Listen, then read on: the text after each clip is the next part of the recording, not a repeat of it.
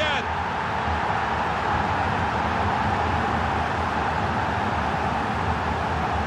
Pretty straightforward this match, and the late goal sums it up, really. Yeah, they've just compounded their superiority with that one.